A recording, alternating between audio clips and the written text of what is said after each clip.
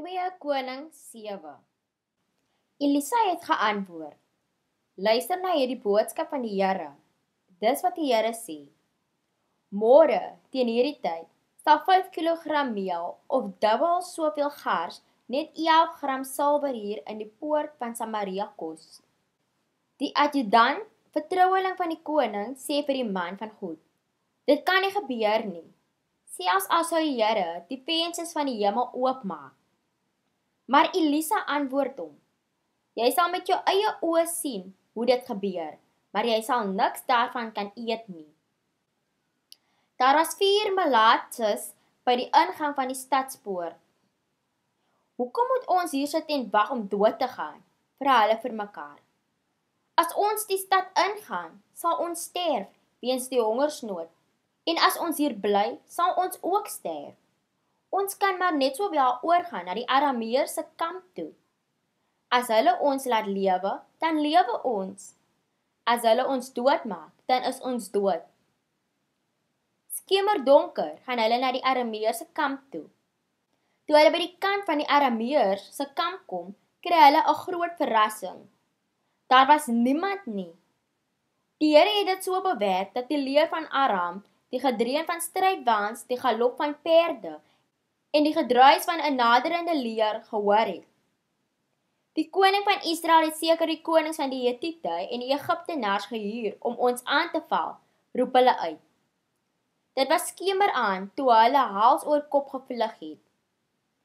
Hulle tente, perde, donkies en al hulle besittings het hulle net so agtergelaat en vir hulle lewens gevlug. Toe hierdie malaatses by die kant van die kamp aankom, het hulle by 'n tent ingegaan. Hulle het geëet en gedrink. Hulle het ook silwer, goud en klere daar gekry en dit gaan wegsteek. Hulle het ook by 'n ander tent ingegaan, goed gevat en dit begrawe. Daarna sê hulle vir mekaar: "Wat ons doen is nie reg nie. Dit is 'n dag van wonderlike nuus en ons sien niemand daarvan nie. As ons wag tot dit lig word, sal 'n onheil ons tref." Kom ons gaan en vertel dit by die paleis van die koning. Hulle gaan toe na die stad, roep na die poortwagters en vertel hulle wat gebeur het. Toe ons by die Arameese kamp kom, ontdek ons daar was nie 'n mens te sien of te hoor nie. Daar was net perde en donkies wat vasgemaak was en die tente het almal nog net so daar gestaan. Die poortwagters het geskreeu en die nuus oorgedra aan die koning in die paleis. In die middel van die nag het die koning opgestaan en vir sy amptenare gesê: "Ek sal vir julle sê wat die Arameërs se plan met ons is. Hulle weet ons het nie kos nie. Daarom het hulle die kamp verlaat en eers in die veld gaan wegkruip. Hulle dink: Kom ons wag dat hulle uitgaan uit die stad. Dan sal ons hulle lewendig vang en self die stad binne gaan." Een van sy amptenare antwoord: Laat 'n paar manne vyf van die perde wat oorgebly het, vat en gaan vasstel wat is wat. As daar iets met hulle gebeur, sal dit nie 'n groter verlies wees as wanneer hulle hier bly en saam met ons sterf nie. Twee strydwaans met hulle perde is toe gereed gemaak. Die koning het hulle gestuur om te kyk wat van die Arameese leer geword het. Hulle het by die Jordaanrivier agter hulle aangegaan. Die hele pad was besaai met klere en ander goedere wat die Arameërs weggegooi het in hulle haas om te vlug. Die verkenners het teruggekom en dit vir die koning vertel. Toe het die inwoners van Samaria die stad gestorm en die Arameërs se kamp geplunder. So het dit dan gebeur dat 5 kg meel of dubbel die hoeveelheid gars net 'n sikkel silwer gekos het, net soos die Here beloof het. Die koning stel te die adjutant sy vertroueling aan om die oorvloed bedrywighede by die poort te beheer. Maar die inwoners het hom aan die poort doodgetrap. Alles het net so gebeur soos wat die man van God gesê het toe die koning na sy huis toe gekom het. Die man van God het mos vir die koning gesê: "Môre, teen hierdie tyd, sal 5 kg meel of dubbel soveel gars net 11 gram silwer hier in die poort van Samaria kos." Die koning se adjutant het toe vir die man van God gesê: "Dit kan nie gebeur nie, selfs al sou die Here die vensters van die hemel oopmaak. En die man van God het geantwoord: Jy sal met jou eie oë sien hoe dit gebeur, maar jy sal niks daarvan kan eet nie. Dit het presies so gebeur, want die menigte het hom in die stadspoort doodgetrap. 2 Konings 8 Elisa het vir die vrou wie se seun hy weer laat lewe het gesê: Roep jou huisgesin bymekaar en trek weg na 'n ander plek toe. Want die Here het bepaal dat daar oor Israel 'n hongersnood sal kom wat 7 jaar sal duur. Die vrou het gemaak soos die man van God vir haar gesê het. Sy en haar gesin het toe vertrek en 7 jaar lank in die land van die Filistyne gaan woon. Toe die hongersnood na 7 jaar verby was, het sy teruggekeer uit die land van die Filistyne. Sy het na die koning toe gegaan en hom gesmeek om haar huis en grond weer terug te kry. Die koning was besig om met Gehazi, die dienaar van die man van God te praat. Die koning het sopas vir hom gesê: "Vertel my tog van al die groot dinge wat Elisa gedoen het." Gehazi was besig om die koning te vertel van die seun wat Elisa weer laat lewe het.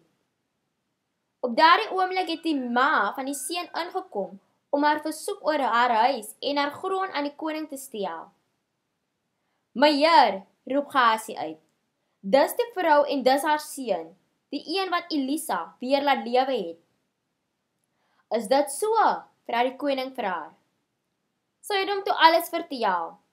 Daarop beveel hy een van sy amptenare om haar behulpsaam te wees en sê: "Jy moet sorg dat sy alles terugkry wat aan haar behoort." ook die waarde van enige oes wat gedurende haar afwesigheid ingesamel is. Op 'n keer het Elisa na Damaskus, die hoofstad van Aram, gegaan. Op die tydstip was koning Ben-Hadad, die koning van Aram, siek. Iemand het vir die koning vertel dat die man van God daar aangekom het. Toe die koning dit hoor, toe sê hy vir Gasiel: "Neem geskenke en gaan na die man van God toe." sê vir hom hy moet die Here vra of ek van hierdie siekte gesond sal word. Gasiel neem toe van die mooiste handelsware van Damaskus en laai dit op 40 kamele as 'n geskenk vir Elisa. Hy het by hom gekom voor hom gaan staan en gesê: "U dienaar Benadad, die koning van Aram, het my gestuur om te vra of hy gesond sal word." Elisa het geantwoord: Gaan en sê vir hom, jy sal beslis gesond word. Maar die Here het aan my bekend gemaak dat hy beslis sal sterf. Elisa het stop na Gasiel gekyk sodat Gasiel ongemaklik geword het. Toe die man van God in trane uitgebars. "Waarom huil u, meneer?" Vra Gasiel.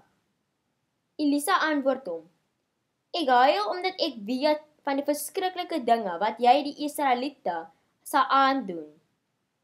Jy sal hulle vestings afbrand, hulle jongmans doodmaak, hulle kinders teen die grond verpletter en hulle swanger vroue oopsny.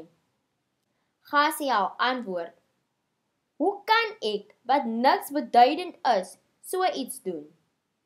Maar Elisa antwoord: Die Here het vir my bekend gemaak dat jy koning oor Aram sal word.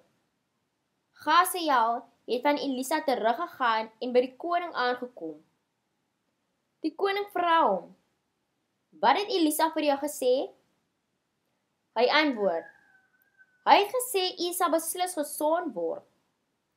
Die volgende dag het Gasiel 'n doek gevat, dit met water deurweek en dit oor die koning se gesig gegooi sodat die koning gesterf het. Gasiel het hom as koning van Aram opgevolg. In die 5de jaar van koning Joram van Israel, seun van Agab, het Joram, seun van koning Josafat, sy pa in Juda opgevolg. Joram was 32 jaar oud toe hy koning geword het en het 8 jaar in Jerusalem regeer. Maar Joram het 'n slegte voorbeeld gevolg van die konings van Israel, net soos die dinastie van Agab gedoen het, want hy was met een van Agab se dogters getrou. Hy het gedoen wat verkeerd was vir die Here, maar die Here wou Juda nie vernietig nie, omdat hy sy dienaar Dawid beloof het dat sy nageslag vir altyd op sy troon sal sit. Tydens Joram se bewind het die Edomiete teen Juda in opstand gekom en hulle eie koning aangestel. Joram het sy strydwaans gemonster en die dorp Sair aangeval. Die Edomiete het hom en sy strydwaar offisiere omsingel. In die nag slag hy om deur te breek, maar sy leer het huis toe gevlug. Daarna was Edom onafhanklik van die Juda tot vandag toe. In daardie tyd het die dorp Libna ook in opstand gekom.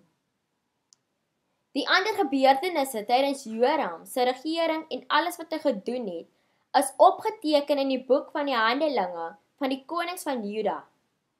Hy het gesterf en is in die familiegraf in die Dawidstad begrawe. Sy seun Ahasia het hom as koning opgevolg. Ahasia, seun van Joram, het koning geword in die 12de jaar van koning Joram van Israel. Koning Joram was die seun van Agab. Ahasia was 22 jaar oud toe hy koning geword het en hy het 1 jaar in Jerusalem regeer. Sy ma was Atalia, 'n kleindogter van koning Omri van Israel. Ahasia het die slegte voorbeeld van koning Agab se familie gevolg. Hy het gedoen wat verkeerd was vir die Here omdat hy in die familie van Agab ingetrou het. Ahasia het aangesluit by koning Joram van Israel, die seun van Agab, wat besig was om oorlog te maak teen koning Gasiel van Aram by Ramoth in Gilead. Die Arameërs het koning Joram in die geveg gewon.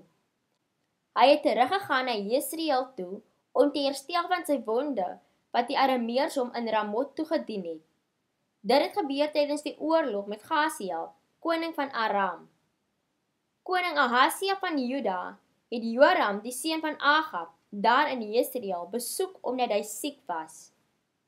2 Konings 9 Intussen het die profeet Elisa, een van die groep profete, geroep en gesê: Maak jou gereed en gaan gou na Ramot in Gilead vat hierdie fles met olie saam. Wanneer jy daar kom, sal jy vir Jehu, seun van Josafat en kleinseun van Nimsi sien. Laat hom opstaan tussen sy offisiere. Lei hom na 'n agterkamer weg van hulle af. Vat die fles en gooi die olie uit op sy kop. Sê vir hom: Dis wat die Here sê. Ek salf jou tot koning oor Israel maak dan die deur oop en vlug vir jou lewe. Die jong man, die profeet het so gemaak en na Ramot in Gilead gegaan. Toe hy daar aankom, kry hy vir Jehu saam met ander offisiere beraadslag.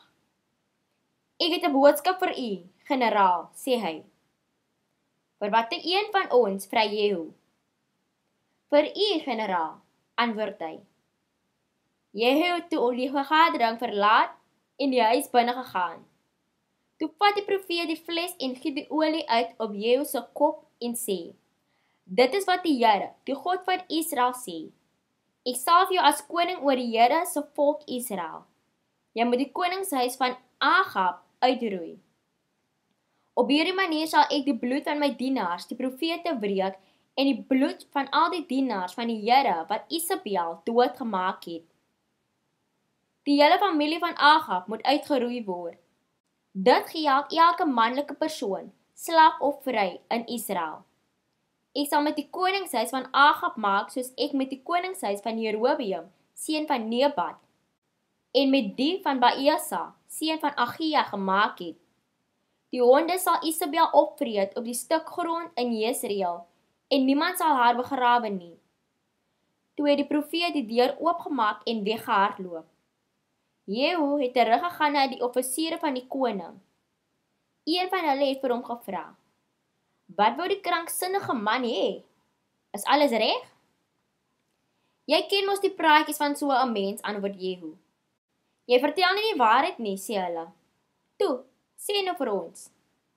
Jehu antwoord hulle: "Dis wat hy gesê het. Die Here salf jou as koning oor Israel." Hulle het dadelik hulle klere voor hom op die trappe uitgesprei en op die trompet geblaas terwyl hulle skreeu: "Jehu is koning!" Jehu, seun van Josafat en kleinseun van Nimsi, het saam gesweer teen koning Joram. Joram was saam met die hele leer van Israel by Ramot in Gilead, besig om Israel teen koning Gasiel van Aram te verdedig. Maar Joram het na Jesreel toe teruggegaan om te herstel van die wonde wat hy opgedoen het in die geveg teen Gasiel van Aram. Jehu sê vir die manskappe by hom: As julle met my saamstem, sorg dan dat niemand wegkom uit die stad om dit in Jesreel te vertel nie. Jehu het toe op sy strydwa geklim en na Jesreel toe gery.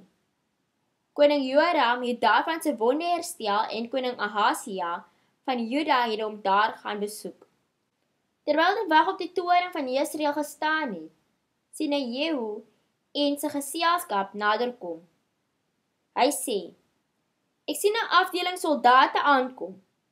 Stuur 'n perde ruiter uit om vas te stel of hulle in vrede kom," antwoord Joram. Die perde ruiter het Jehu tegemoet gegaan en gesê: Die koning wil weet of jy in vrede kom. Jehu antwoord: Wat weet jy van vrede af? Val in hier agter my. Die wag sê toe vir die koning: Die boodskapper het by hulle aangekom, maar hy kom nie terug nie. Toe stuur die koning 'n tweede perderyter. Hy het er by hulle gery en gevra: Die koning wil weet of jy in vrede kom. Jy het weer geantwoord: Wat weet jy van vrede af? Val in hier agter my. Die wag sê weer: Die perde ruiter het by hulle aangekom, maar hy kom ook nie terug nie. Die een wat voorry, lyk soos Jehu, seun van Nimsi, want hy ry soos 'n besetene. Gou, kry my strydwa gereed, beveel koning Joram. Die perde is ingespan en koning Joram van Israel het hom tegemoet gegaan. Koning Ahasia van Juda het ook op sy wa geklim en saamgery. Hulle het Jehu by die grond wat aan Nabot van Jesreel behoort het, ontmoet. Toe koning Joram vir Jehu sien, vra hy: "Kom jy in vrede, Jehu?" Jehu antwoord: "Wat praat jy van vrede terwyl jou ma Isabel al hierdie afgodery en toordery beoefen?" Toe draai koning Joram sy strydwa om en vlug terwyl hy vir koning Ahasia skree: "Verraad Ahasia!" Maar Jehu het sy boog gespan en Joram tussen sy blaaie getref. Die pyl het sy hart deurboor sodat hy op sy strydwa in mekaar gesak het. Jehu beveel toe vir Bidka, sy luitenant: "Vat hom en gooi hom op die grond van Nabot van Jesreel." Onthou jy toe ek en jy saam agter sy pa Agab aangery het? Die Here het toe hierdie uitspraak gemaak. So seker as ek gister die bloed van Nabot en sy seuns gesien het, so seker sal ek hom hier op dieselfde stuk grond vergeld. Daarom vat hom en gooi hom op Nabot se grond soos die Here gesê het. Die koning Ahasia van Juda sien wat gebeur, vlug hy in die rigting van Betgaan. Jehu het hom agterna gesit en geskreeu: "Skiet hom oop!" By die hoogte van Goer, naby Jebleem, het hulle hom op sy strydwa gewond. Hy kon tot by Megiddo vlug, maar het daar gesterf. Sy dienaars het hom op 'n strydwa na Jerusalem toe geneem en hom daar in die familiegraf in die stad van Dawid begrawe. Ahasia het in die 11de jaar van koning Joram se bewind in Israel koning van Juda geword. Toe Isabel, die koningin moeder, hoor dat Jehu na Jesreel toe gekom het, het sy haar oë geverf, haar hare mooi gemaak en by 'n venster uitgekyk. Toe Jehu die poort binnekom, roep sy na hom: "Kom jy in vrede, jou moordenaar? Jy is nes Simri wat sy koning vermoor het." Jehu het opgekyk en toe hy haar by die venster sien, roep hy: "Wie is aan my kant?" "Ja, wie?" Twee of drie paleisamptenare het afgekyk na hom toe. "Gooi haar af," skree Jehu. Hulle gooi haar toe daar af sodat daar bloed teen die muur en die perde gespat het. Die perde het haar daar vertrap. Jehu het toe die paleis binne gegaan en daar geëet en gedrink. Daarna sê hy: Iemand moet tog aandag gee aan hierdie vervloekte vrou. Gaan begrawe haar. Sy is immers 'n koningsdogter. Hulle het gegaan om haar te begrawe, maar net haar kopbeen, voete en handpalms gekry. Toe hulle terugkom en dit vir jou vertel, sê hy: "Dis volgens die woord van die Here toe hy deur sy dienaar Elia die Tisbit gesê het: By die stuk grond in Jesreel sal die honde Isabel opvreet. Haar liggaam sal soos mis verstrooi word op die stuk grond in Jesreel sodat niemand haar meer sal kan herken nie."